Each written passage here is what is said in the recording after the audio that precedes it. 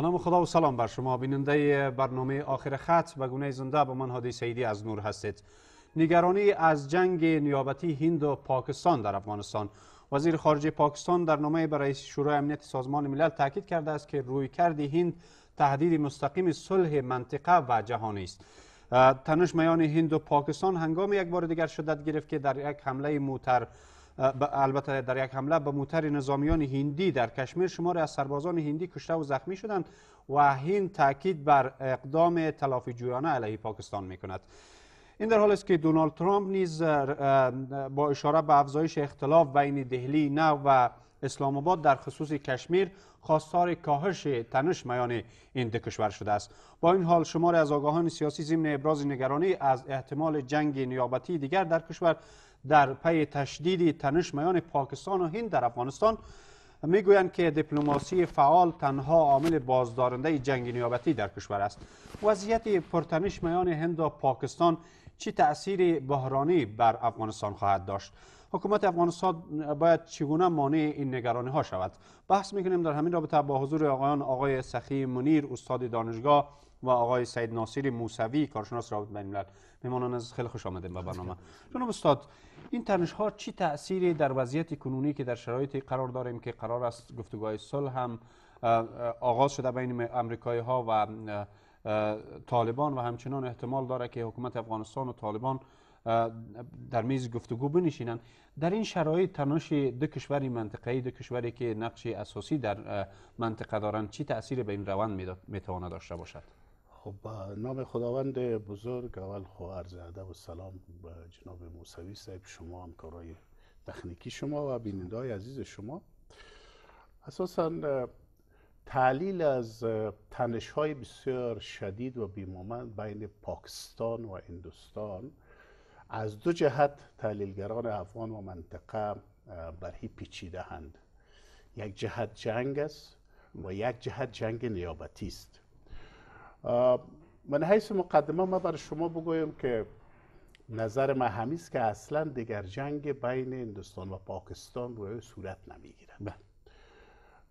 یک کمی برای معلومات شنوندگان و بینندگان شما باید بگویم که واحدهایی که در بین نظام جنگی بین هند و پاکستان قرار داره از میور اول متفاوت است و از میور دوم خطرناک میور اولی است که بودجه نظامی هندوستان 63 میلیارد است و بودجه نظامی پاکستان 10 میلیارد است بله.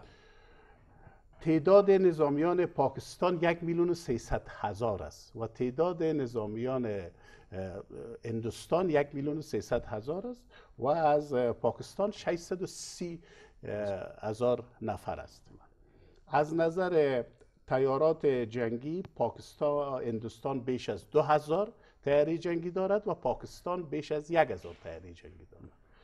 از نظر تانک زیریهی و جنگی هندوستان بیش از چهار هزار تانک زیریهی جنگی دارد و پاکستان بیش از دو هزار دارد. از نظر کشتی جنگی هندوستان و 297 کشتی جنگی دارد و پاکستان 191 کشتی جنگی دارد. پس یک جنگی را که بعضی از تحلیلگرها میگنن قریبه هست که با هم می‌زنن این جنگ دیگر امکان پذیر نیست و در واقع خود توانبخشی نظامی انده برملا می‌سازه از جهت چیزایی که ما بر شما گفتم. ولی اردو کشور دندان حتومی منطقه است. اما تو کامران خان گفت یا سفیر پاکستان در افغانستان گفت یا سخنگوی وزارت دفاع پاکستان گفت که ما اگر اند اقدام کنه ما اقدام فوری بالمثل می‌کنیم. یکی از دلایل امی هستند و بحث دیگه چون بحث استراتژیک منطقوی هست در پشت پاکستان یک کشور قدرتمند به نام چین قرار دارد. و در پشت هندوستان یک قدرت دیگه به نام فدراسیون اروسیه قرار دارد. بین هر دو زل باز یک کشور قدرتمند دیگه که امریکا باشد که استراتژی جنوب آسیا را دارد قرار دارد. اما بحث دوم بحث میور جنگ نیابتی است. در جنگ نیابتی چی حادثه که صورت گرفت؟ البته حادثه که صورت گرفت یک بخشش ارتباط به سفر محمد بن سلمان ولیت عربستان سعودی هم دارد یک بخشش به صلح منطقه هم دارد که شامل افغانستان میشه. و بحث های استخباراتی بسیار زربینی هم وجود دارد که ما نمی‌تونیم بدون معلومات یا بدون استنادات سر از او بحث کنیم. جنگ نیابتی پاکستان و هندوستان در افغانستان وقت شروع شده بود و ما اثرهای از او را در طویل شدن و فرسایی شدن جنگ در جغرافی خود دیدیم. اما آنچه که مبرهن است و روشن است همیشه تاکید سر صورت می‌گیرد که ما با هندوستان مستقیما مرز مشترک نداریم. ولی با پاکستان یک مرز بسیار طولانی مشترک داریم و یک معزله کلان به نام خط دیورند داریم. که این خط دیورند بعضی از تحلیلگرا مز در جغرافی دیورند و او طرف پختونخوا و او طرف سرحد می‌خوانه. ولی اصلا معزله بین پاکستان و هندوستان از کشمیر تا خط دیورند آمده داخل جغرافی افغانستان. اما طور داره میره به سوی سرحدات آسیای میانه که همی بحث داعش از اونجا منشه می‌گیره.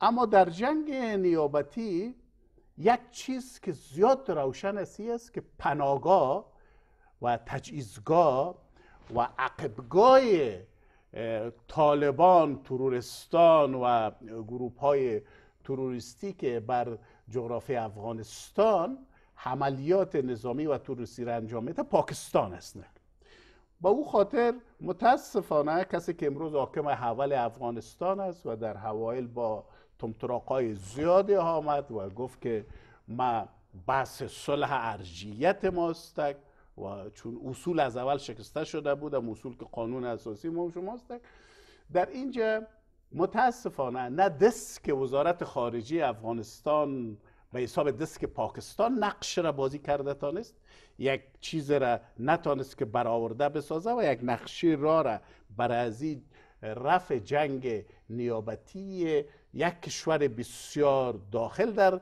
جنگ نیابتی افغانستان و کشور دیگه که بله. بین هم سالیان متمادی در تضاد هستند از کشمیر تا خط دیوره در افغانستان این کس ترتیب کردن خیلی سپاسگزارم جناب استاد. آقای موسوی شما چی فکر می‌کنن آخرین تحولاتی که در بحث تنش میان هند و پاکستان وجود دارد چی است؟ تحلیل شما از این وضعیت چی است در کل؟ بسم الله الرحمن الرحیم. سلام به شما جناب استاد در برنامه بینندگان محترم شما. خب بخش مهمی از چگونگی قدرت یا توازن قدرت که بین هند و پاکستان به گونه وجود داره استاد اینجا بحث کردن. من چند نکته رو اضافه کنم برای بحث هایی که استاد اینجا عرض کردن. نکته اولی که در شرایط امروز که هزینه جنگ بسیار گذاف و سرسام است بر هر دو کشور هم بر هند هم بر پاکستان به دلیلی که خب در جنگ ها معمولا بسیار هزینه های بالا بر دولت ها تحمیل میشه بله. این هر دو کشور علاقه به یک درگیر شدن یک جنگ تمام ایار ندارد با توجه به اینکه تقریبا سه بار درگیری که بین هند و پاکستان به صورت گرفتن بله. در هر سه بار به دلایل متعددی که وقت بحثش وقتی بحثش اینجا نیست خب پاکستانی ها شکست خوردن و هندی ها به موفق شدن یک با خب بنگلادش جدا شدن بعد بار دوم و حادثه تا خط کارگل که در زمان آقای مشرف صورت گرفتن یعنی این اول یعنی نه هندوستان نه پاکستان هیچ کدوم اینها علاقه ندارد که مثلا به طرف یک درگیری نظامی تمام ایار برن به دلیل مشکلات جدی اقتصادی که در هر دو کشور وجود دارد. یعنی پاکستان مثلا در آستانه وضعیتی قرار دارد که مثلا از عربستان سعودی قرض می‌گیرن از بانک جهانی می‌گیرن از کشورهای دیگر.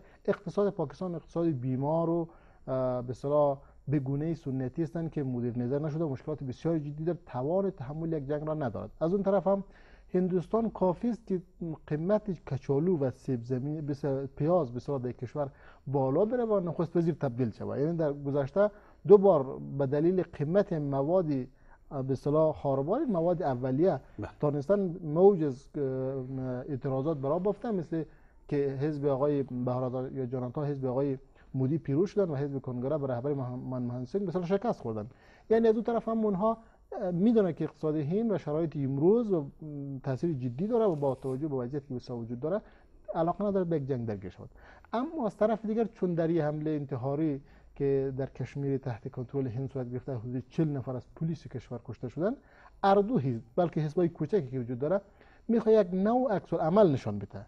یعنی به این معنا که اگر حزب حاکم جدیت و قاطعیت خود را نشان نده ممکن است که در انتخاباتی که به صورت می‌گیرن مردم قضاوت بکنه بر ضعف و عدم مدیریت آقای مودی و حزب اینا که تاثیر می‌گذاره بر انتخابات. از اون طرف هم به اصطلاح حزب کنگره و حزب های کوچیک دیگه که به در هندوستان وجود داره یک صدا خواهان یک واکنش متناسب است. واکنش متناسب به معنا که یک واکنشی قابل مهار و کنترل شده از طرف جانب هندوستان صورت بگیره به این معنا که خب با هند واکنشی عمل می‌کنه آقای موسوی و پاکستان هم در مقابل از این نگران است به نحوی از از ادبیاتی که در دیپلماسی در بحث می تنش وجود داره یک نوع نگرانی داره پاکستان.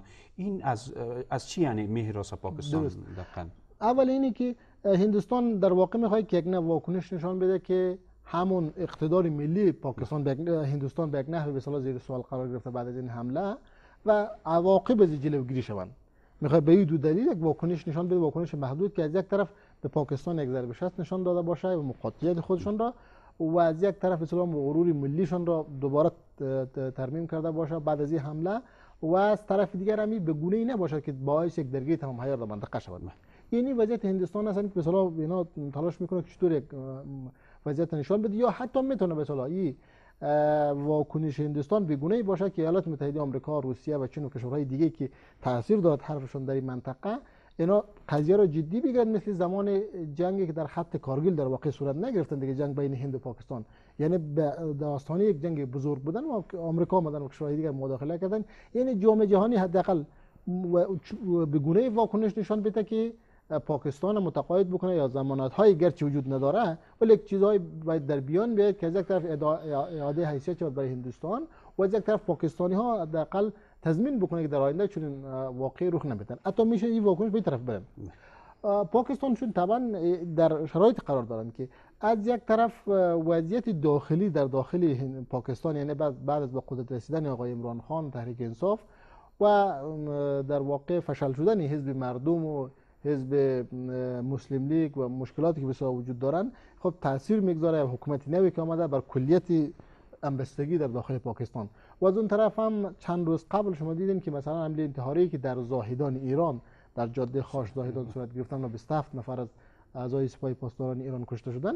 اونها هم گفتن این موضوع که هندوستان مطرح کردن اونها مطرح کردن که اینا کسانی هستند که در داخل پاکستان پناهگاه دارد وضعیتشان به اینجا ترتیب میشه و ایران حمله می‌کند. این مشکلات افغانستان هم داره.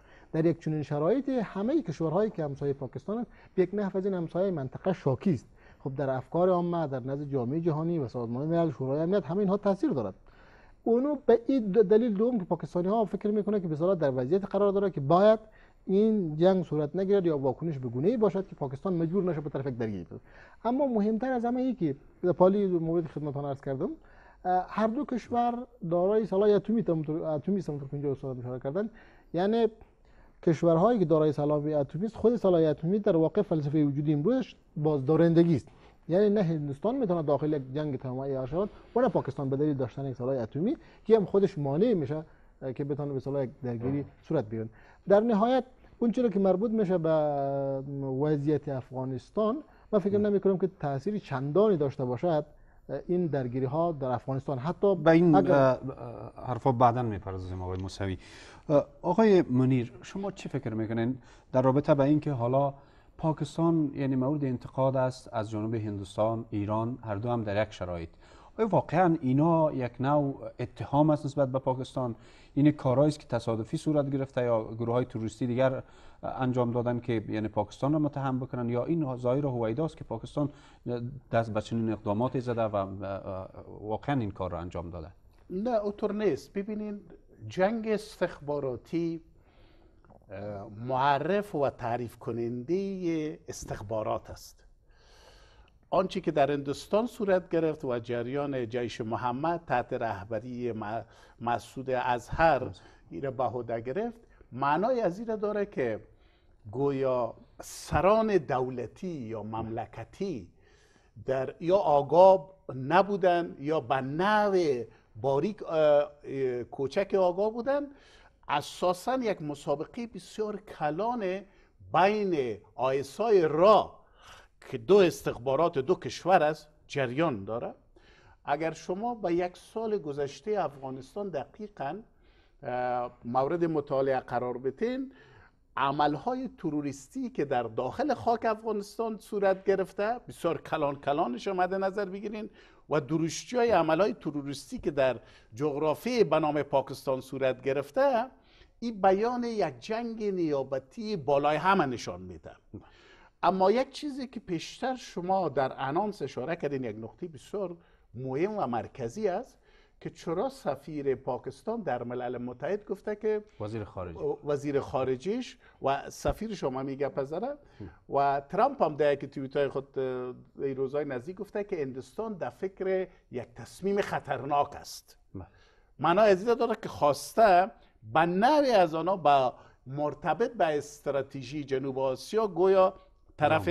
هندوستان بگیرن اه، این دی- این دیپلماسی در واقع دیپلماسی روشن و سر صفحه است. و یک دیپلماسی زیر صفحه یا عقب میز قرار داره.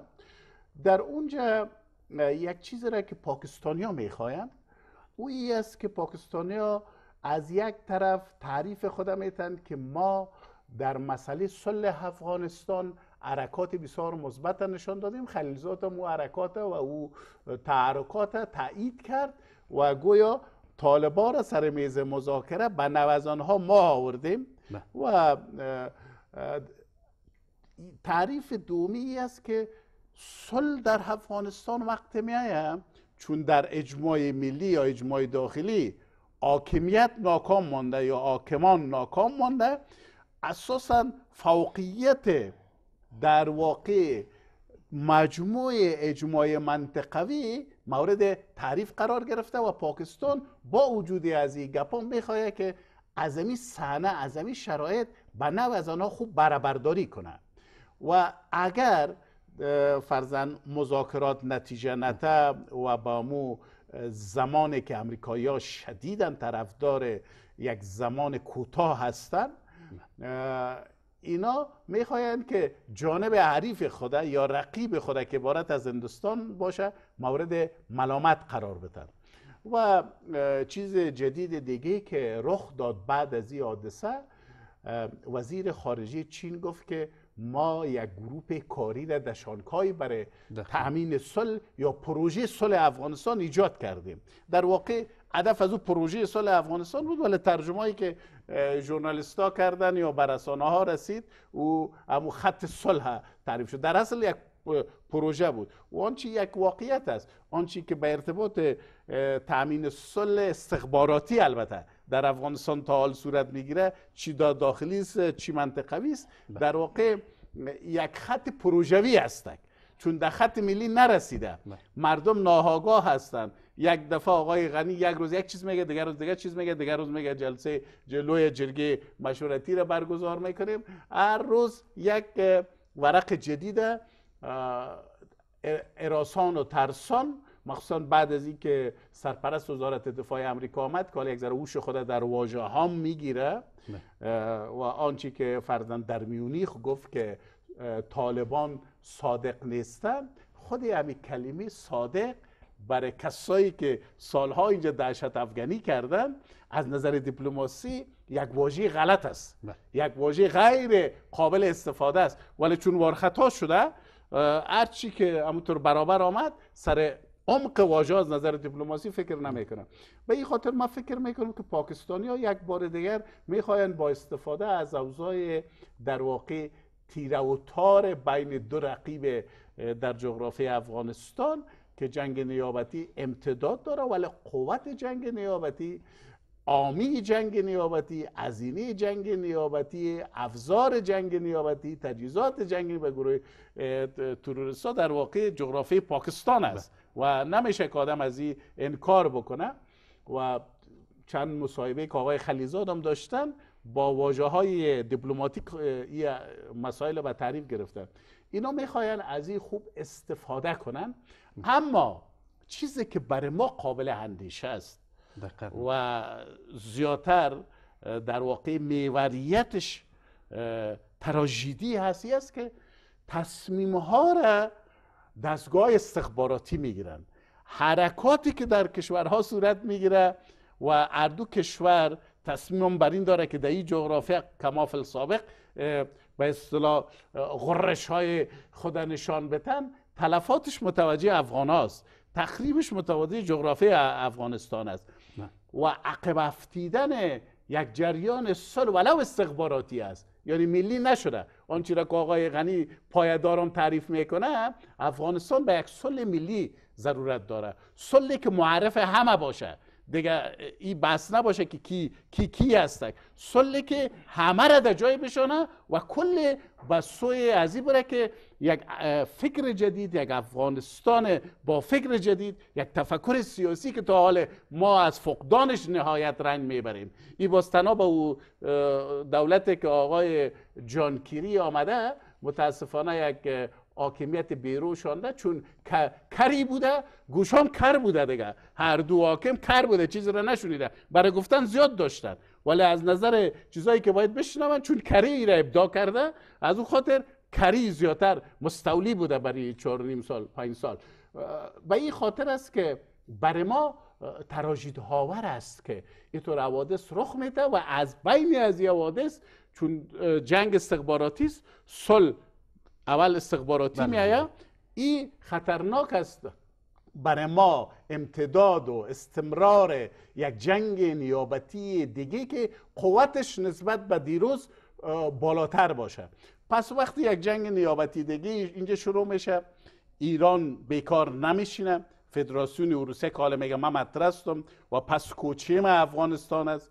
امو ترتیبی که ایندیا و فرزن ایرانیا تعریف دادن که پس کوچه عربستان سعودی پاکستان است. اینی چیز چیزهایی هست که برای ما بسیار سوزهاور است بسیار تراژید است و بسیار غمهاور است. تشکر می‌کنم.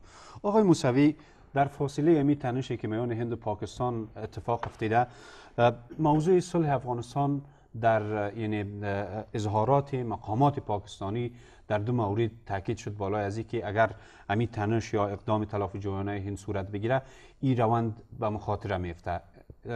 اظهارات سفیر پاکستان در افغانستان و همچنان در امین نامه وزیر خارجه پاکستان به شورای امنیت سازمان ملل هم تاکید شده که تهدید مستقیم بالای پاکستان صلح منطقه که مشخصا صلح افغانستان است. واقعا تأثیری که امین مسئله بالای صلح افغانستان می داشته باشه یا هدف از این ادبیات پاکستانی ها چی است؟ خب ببینید اولی که صحن روابط بین الملل به به رغم وضعیت داخلی با مزرد وضعیت داخلی کشورها صحنه روابط بین الملل یک صحنه انارشیک است. به این معنا که هیچ قدرتی برتر نظم دهنده و تصمیم گیرنده وجود ندارد. هر تصمیمی را که هندوستان یا پاکستان در قبالی که با هم درگیر شود یا نه می‌گیرد اول بر اساس منافع ملی و قدرت خودشان ارزیابی می‌کند گذشته که در افغانستان چه رخ می‌دهد در آمریکا چه رخ می‌دهد در چین این بحث بحث اصلی نیست. بحث اصلی این است که این دو کشوری که با هم در منطقه رقابت دارد. بله. یعنی اول تصمیم را بر مبنای داشته ها منافع و به اصطلاح کنترل این وضعیت اگر بخواد به وجود بیاد تصمیم می‌گیرد. گذشته که در افغانستان چه تاثیر دارد. دومی که خب اگر قرار باشد که پاکستان با هندوستان درگیر شوند من فکر می‌کنم به افغانستان خیلی ضرر نمی‌کنه. به این دلیل خیلی ضرر نمی‌کنه. خب پاکستان اگر بحث شما این است که پاکستان همواره در افغانستان چالش آفریده بحران به مدیریت کرده و حالا یک بخش جنگ در کنترل پاکستان. خوب است که پاکستان با هندوستان درگیر شوند. با ما چیز داره مثلا چیز بیشتر از چیز خب نمی‌خواد خراب شده در افغانستان. خب هدف از استفاده این کلمات یا عرض ما کجاست؟ عرض ما کجاست؟ اینی که وقتی شما اون موردی که شما اشاره می‌کنید بحث اینه که پاکستانی ها ایالات متحده آمریکا به عنوان یک قدرت تاثیرگذار که ممکنه که حرف آمریکا را هم هندوستان بشنوه و هم پاکستانی ها به بشنوه. به اونها میگه که اگر قرار باشه که درگیری بین هند و پاکستان به به وجود بیاین حداقل زیانی که آمریکایی ها متوجه میشه در منطقه گذشته از این خب مسئله سلاح اتمیش بحث جدی است تبعات جنگ بحث جدی است بحران در منطقه خب طبعا مشکلات را به وجود میارن. کوچکترین کاری که مثلا میشه یکی آمریکا مثلا در افغانستان همچنان گرفتار مشکل میمونه این اگر قرار باشه یک راه حل دیپلماتیک که از طریق گفتگو و مذاکره بین طالبان و آمریکا و دولت افغانستان به نتیجه برسه حداقل کار در در زمانی که درگیری صورت بگیره نخواهد شد. یعنی به یک نحوی می‌خواد که در این خصوص تاکید بکنه و این مطرح بکنه و آمریکایی ها را ترغیب بکنه که تلاش بکنه و مذاکره بکنه با هندوستان که حداقل این درگیری بین دو کشور صورت نگیرن. بهترین استفاده می‌تونه در این مورد داشته باشه تا در داخل خود افغانستان. و بحث دیگه که مثلا در اینجا قابل توجه و اونی که وضعیتی که در منطقه به اصطلاح حاکمه یعنی بعد از پایان جنگ هایی که بین چند تا کشور صورت گرفته با خصوص تبعاتی که وجود دارن یعنی خود آگاهی آگاهی که بسیار در شهروندا وجود داره در مردم. این یک مقوله اینه که مثلا هیچ دموکراسی با دموکراسی دیگه درگیر نمیشه بلکه دیکتاتورها با هم درگیر میشه. سخته که تصور شود که اون دموکراسی که در هندوستان وجود داره و وضعیتی که در پاکستان وجود داره. پاکستان چون هم به لحاظ نظامی نسبت به هندوستان کمی عقب‌تر است و هم به لحاظ اقتصادی. با توجه به همین و احزابی که مثلا در کشورها رشد کرده و منافعی رو که مردم تشخیص میدن بسیار متفاوت با حداقل 20 سال قبل. یعنی مردم امروز همه بر سیاست تاثیر می‌گذاره. هر تصمیمی رو که دو کشور بگیره نمی‌تونه افکار عامه را و میزان همبستگی را میزان حمایت را قدرت مشارکت مردم را و اینا رو نادیده بگیرن بره طرف یک جنگ من فکر می‌کنم همه این دستانداز ها رو که شما نگاه بکنید به هیچ عنوان هندوستان و پاکستان به طرف درگیری نمیره. ولی ممکنه که مثلا اونو یک مورد محدودی که هندوستان بتونه دست برتر خود ثابت بکنه ممکنه که از طرق مختلف صورت بگیره. خیلی سپاسگزارم آقای موسوی. آقای منیر شکایت یا درج نامه در شورای امنیت سازمان ملل متحد از جانب پاکستان یعنی به نحو چی را نشان میده که حالا پاکستان یعنی کشوری است که از جانب هندوستان تهدید میشه؟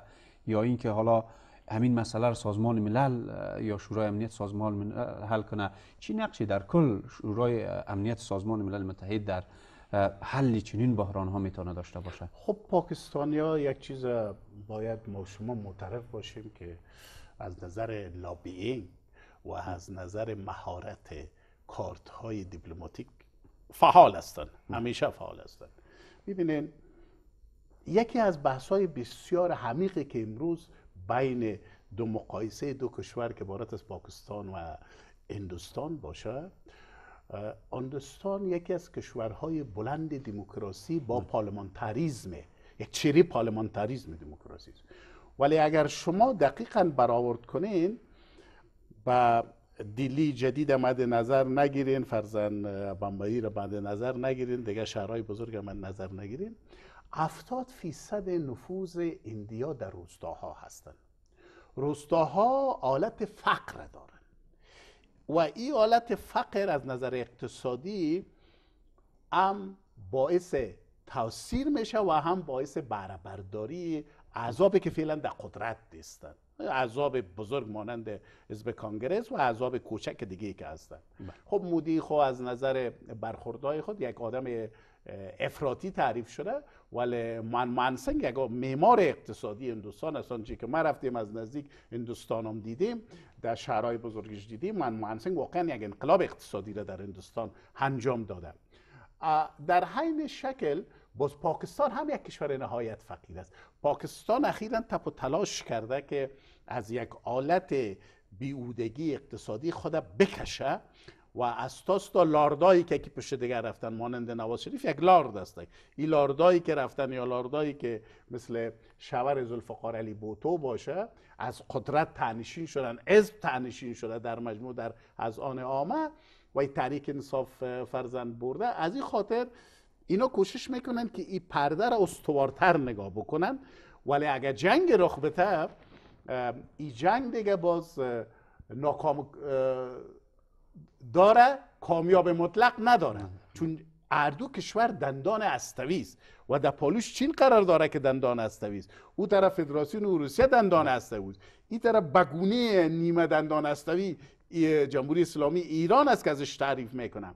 و یک چیزی که قابل تشویش است حدودا جناب موسی سبو پرداخت که کسی که در رأس ایالات متحده امریکا قرار دارد یک آدم بزنسمن غیر متعادل و غیر متعارف است از نظر دیپلماسی. خب باز استراتژی امریکا خب پیش استراتژی ساستک پیش سیاس پیش پنتاگون است پیش وزارت خارجه هست. از او خاطر ما زیاد که بر اینطور یک حادثه حال شما ببینین بن سلمان ام میلیاردها سرمایه را با پاکستان قرار داد کرد و عمران خان چی اشاری کرد که رانندگی فرزن ولی عهد عربستان سعودی را انجام داد. یعنی آنچه که در اون موتر بین هر دوی از گذشته هیچ کس خبر نداره. دو نفر خبر دارن دقیقا و به تعقیبش به هندوستان رفت. عین شکل 100 میلیارد دلار به تعقیبش به چین رفت. عین هدف از این بود که امی بیلانس منطقوی نگاه شده شود. و در واقع آدرس بین سلمان به نو از آنها آدرس امریکا هم هستک روابط بسیار عمیق داره و یگانه کشور است که در روابط بلند قرار داره. اما آنچه که ما برای ما قابل تحسر است است که یک حرکت به حساب آوردن صلح و نوع از ختم جنگ استخباراتیش در افغانستان شروع شده بوده. این حرکت در یک حالت مخشوش میشه به جان میشه. از امو به اصطلاح حرکت دلیل این مسئله چی از دلیل در این مسئله به نظر ما اینمی است که یکی ما فارغ از یک دیپلماسی تعریف شده روابط بین با کشورهای همسایه و منطقه و فرامسایه قرار داریم. این هیچ کس نتونست. وزارت خارجه افغانستان ناکام شخص اول ناکام آکمان ناکام دیپلماسی ما ناکام. خب خودشان او الفاظ تمتراق که استفاده می‌کنن او بحث دیگه هست. بحث دیگه مسئله انتخابات افغانستان است. شما متوجه هستید که من نمیگم که مردم افغانستان حداقل 50 فیصد آگاز من میگم مردم افغانستان پر خبر است با خبر است. ولی از سطح آگاهی ما در یک سطح پایین قرار داریم. اینمی انتخابات اگر صورت بگیره و منصفانه و عادلانه و عدالت انتخابی سی فیصد هم که بیایه ما را از یک دور باطلی که می رفتیم از او دور باطل جدا می‌کنه. پس داخل یک روند امو یک نوع اصولی که در قانون اساسی است یک برنده از آرا از آرا که چقدر سفید است چقدر فرزن انداخته شدگی سی بس مطرح نیست. یک نوع گری هم بین صلح و انتخابات هم واضح یک گری بسیار عمیق است.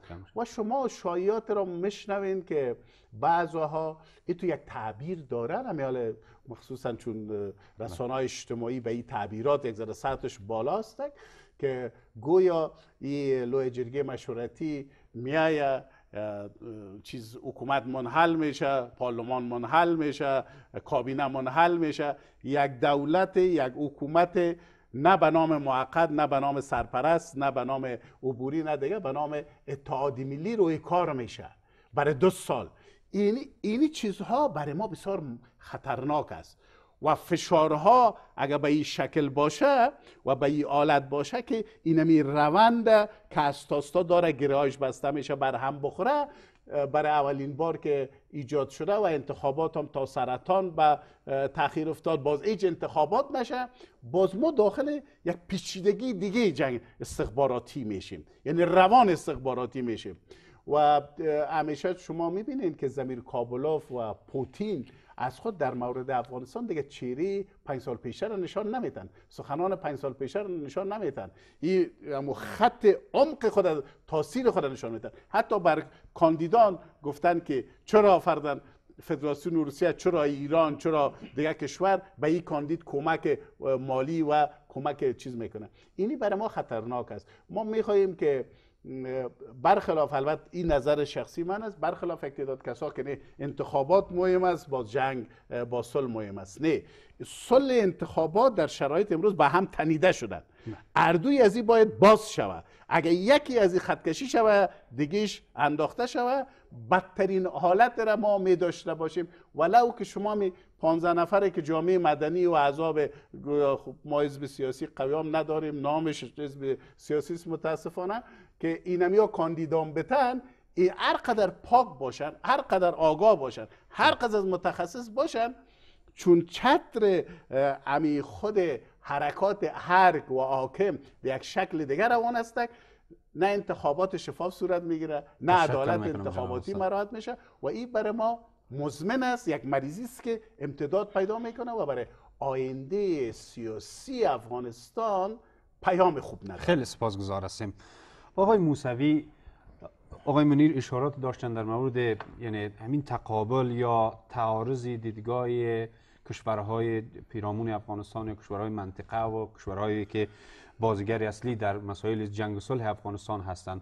حال یک نوع توافق هم به گفته آقای خلیزاد میان نماینده روسیه و خلیزاد هم صورت گرفته.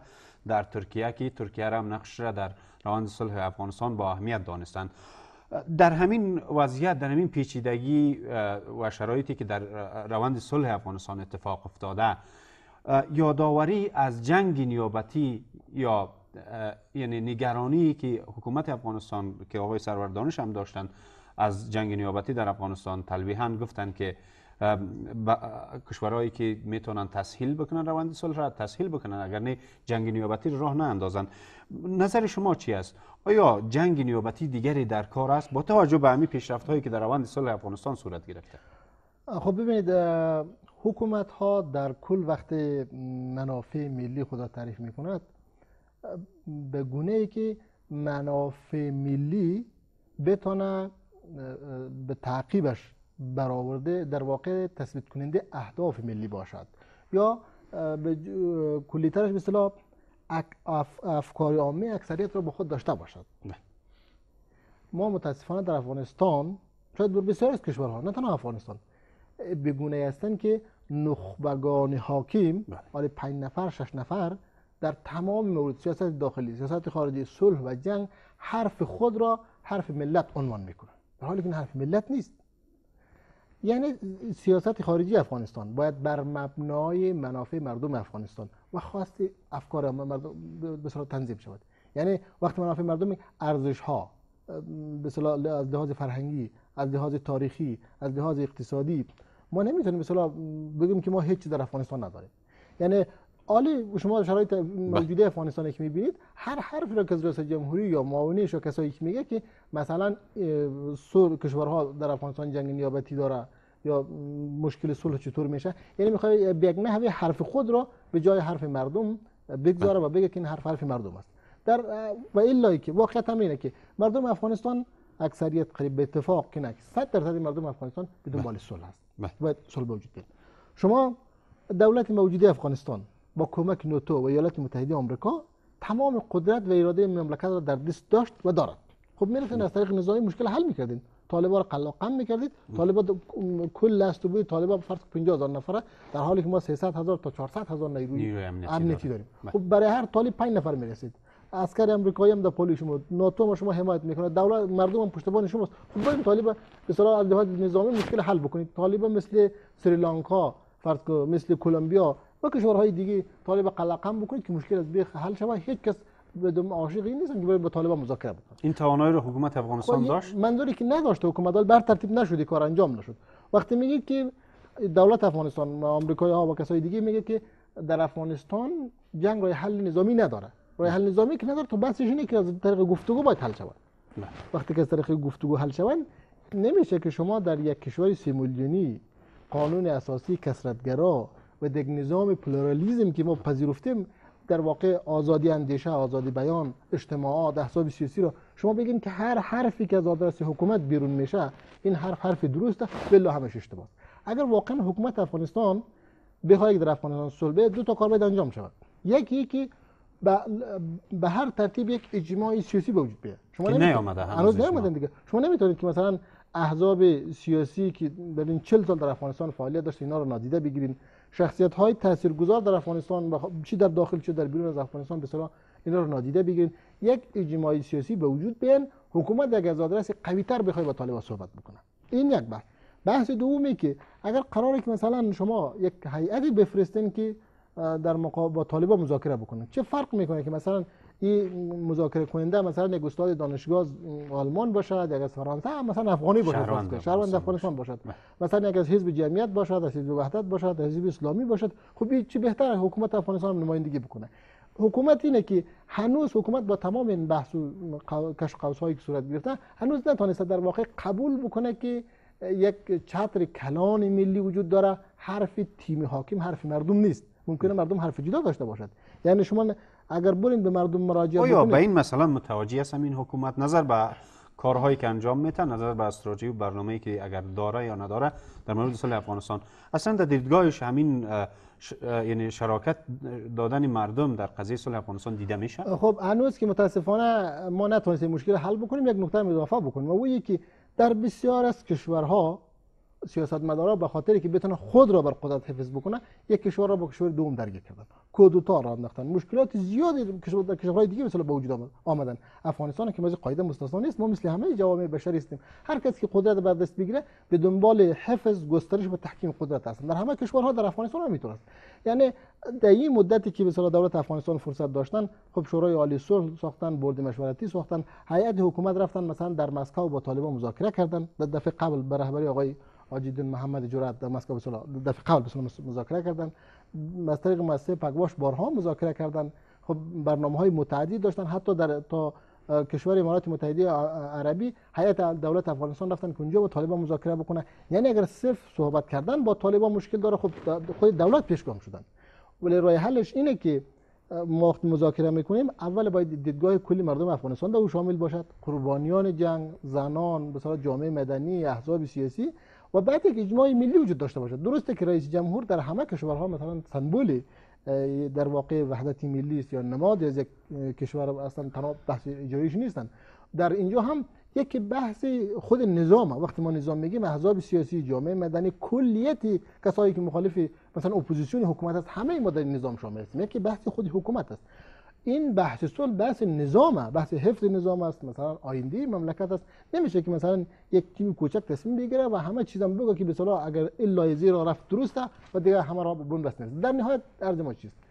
من نظر شخصی است که به هر ترتیبی یا به دلیل امو به اصطلاح علایق شخصی آقای ترامپ یا به دلیل مشکلاتی که آمریکایی ها دارد در منطقه و افغانستان آمریکایی ها تصمیم گرفتن که حداقل مشکل جنگ افغانستان قبل از سال به انتخابات سال 2020 به اصطلاح حل بکنه. این حداقل سال آینده در آمریکا انتخابات صورت می‌گیره قبل از باید حل شود. یعنی اگر دولت افغانستان و اپوزیسیون افغانستان اینها نتونه به اصطلاح یک اجماع ملی رو به وجود بیارن از یک آدرس قوی با طالب صحبت بکنه ممکنه باز هم منافع ملی افغانستان آسیب ببینه. به این معنا که موضع پراگنده که اپوزیسیون افغانستان از یک نگاه به صلح ببینه. آمریکایی‌ها نگاه دیگه ببیند. کشورهای همسایه از نگاه دیگه ببیند. دولت افغانستان از نگاه دیگه بازم به اصطلاح ضرر متوجه مردم افغانستان میشه. تشکر می‌کنم یک نقطه در پایین میگم که اگر اگر قرار باشه که در افغانستان صلح به معنای واقعی کلمه صورت بگیره لابد باید دولت افغانستان اون معاهده رو امضا بکنه. ولی لحاظ حقوقیش خب این دولت نماینده کل ملت است. سپاسگزارم آقای موسوی تشکر می‌کنم. آقای منیر دو حرف یا دو روایت در مورد صلح افغانستان در همین روزها وجود داره. یکی این که حالا امی اوج تنش هند و پاکستان و یک نوع پاکستانی ها ملقا می‌کنند که روند صلح افغانستان در فاصله این تنش ها قربانی خواهد شد.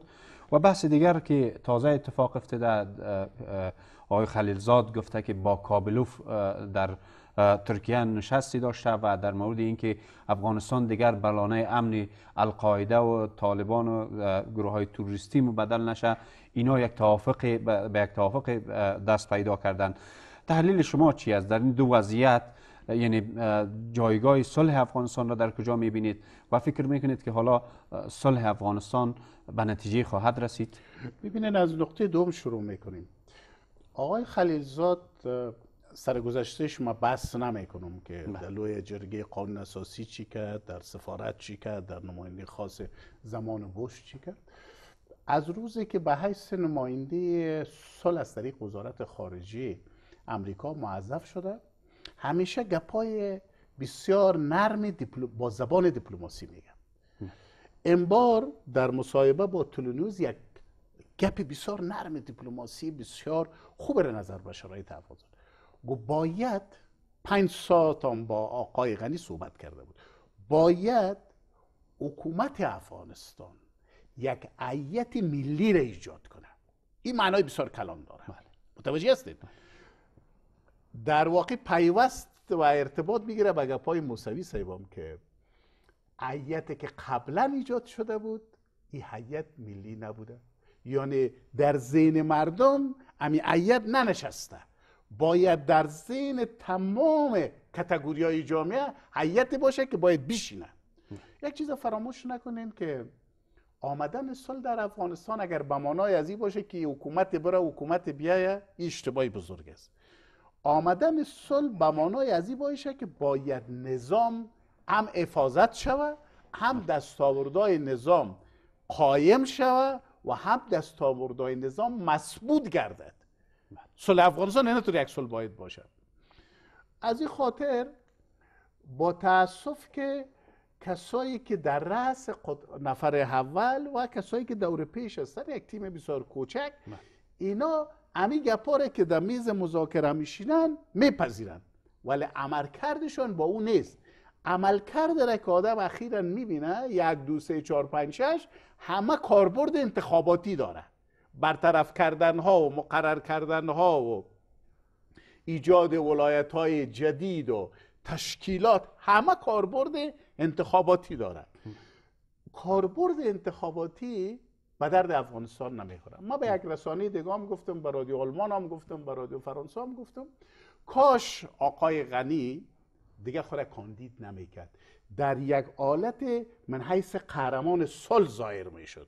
این بسیار به شخصیتش مفید بوده حتی ببخشید کسای دیگه هم که بار دوم و بار سیم خود کاندید کرده اینا نباید خود کاندید می‌کردن. در این دنیای قسم رایج نیست. یک مشکل کلانه که ما داریم این است که شما شخصیت در افغانستان ندارید که جذبه ملی عمومی داشته باشه. نداریم این میاله اگر کس سراغش داره می‌تونه برای ما بگه که ما من یک شاگرد یاد بگیرم.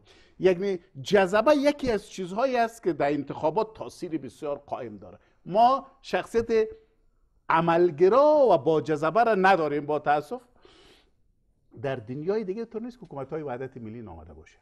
آمده در دنیای دیگه تجربه شده در دنیای دیگه ولی حکومت های وحدت ملی را را اسفلت کرده و بسیار انوار ساخته برای یک گذار دموکراتیک.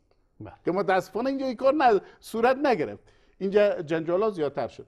در مورد نقطه اول شما که هدف از پاکستانیا بود پاکستانیا همیشه شما رسانه های چی پاکستانی را چی رسانه هایی که مربوط لابینگ می‌کنه برای پاکستان حتی امریکایی را اینا میگن ما آغازگر گفتمان صلح بین حکومت نه بلکه بین مردم افغانستان سیاسیون افغانستان و طالبان هستیم. و این همه قدر نشستم که بین امریکا و طالبان و سیاسیون افغانستان در مسکو و جای دیگه صورت گرفته ما هستیم. اینه برای خود. آل می‌خواین که بگویند استحقاق معصدیت نظر به منافع ملیشان که در افغانستان نفوذی هستند و تعداد نفوذی هایشان زیادتر است نسبت به دیگر کشورها. هم نسبت به کشور ایران هم به نسبت به کشورهای دیگه که در منطقه با ما هستند که سعودی ها امارات متحده عرب است قطر است. اینجا میگه که ما باید امو وزن باید داشته باشیم و داخل بسیار دقیق ماجرای کارت بازی باشیم. یعنی حرف از اونایی است که در زمان دکتر نجیب الله وقت عیت از پشاور رفت به مسکو و با معاون السن مذاکره کرد و حکومت بعدی افغانستان خطکشی شد اونو تو یک چیز می‌خواد. خب البته به اون شکل نه دیگه. ولی از نظر قدرتی و از نظر مایتی هم یک شکل می‌خواد. از اون خاطر پاکستانیا برخلاف کسایی که میگن که بسیار نگران هستند واضح است ما بیلانس قدرتی بله. اندو پاکستان بر شما گفتم.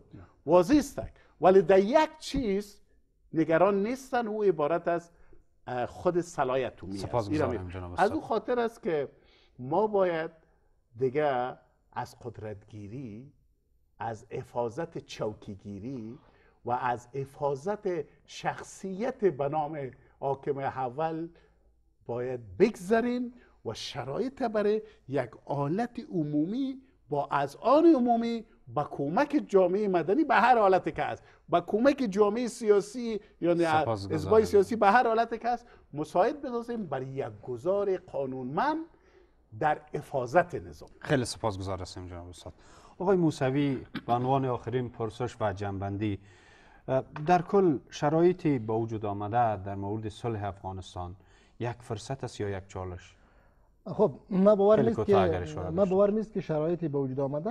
به هر صورت می‌تونه برای دولت افغانستان یک فرصت باشد. به این دلیلی که نیروهای بین المللی نمی‌تونه تا همیشه در افغانستان باقی بمانه و دنیا هم علاقه نداره که یک دولت را همیشه سپورت کنه به صلاح به لحاظ مالی حمایت بکنه. بله. پس یک فرصت هستن که سیاسیون افغانستان و به اصطلاح دولت افغانستان بتونه استفاده خوب از وضعیت ببرن. حداقل اونچه که مقدور است در جهت تحکیم وحدت ملی اقتدار افغانستان و مهمتر از همه یک ثبات بلند مدت سیاسی که زمینه رفاه آسایش و م، به اصطلاح اه، تراوش فکری یا حداقل تهداب احزابی گذاشته شود که بتونن برای سالها با کادرهایشان در واقع افغانستان را مدیریت بکنه و ما از مشکلاتی که اگر ده سال صلح داریم ده سال جنگ از این پیدا بکنیم. حداقل در قطار ملل در حال توسعه به اصطلاح قرار بگیریم اگر توسعه یافته نیستیم. خیلی سپاسگزارم از فقط من حضور دو. کلمه میگم. بسیار ببخشید.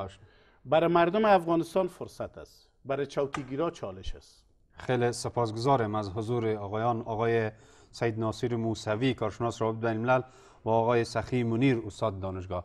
و تشکر از شما بنده های گرامی که تا این دم با ما همراه بودید. بقیه وقت خوش خدا نگهدار.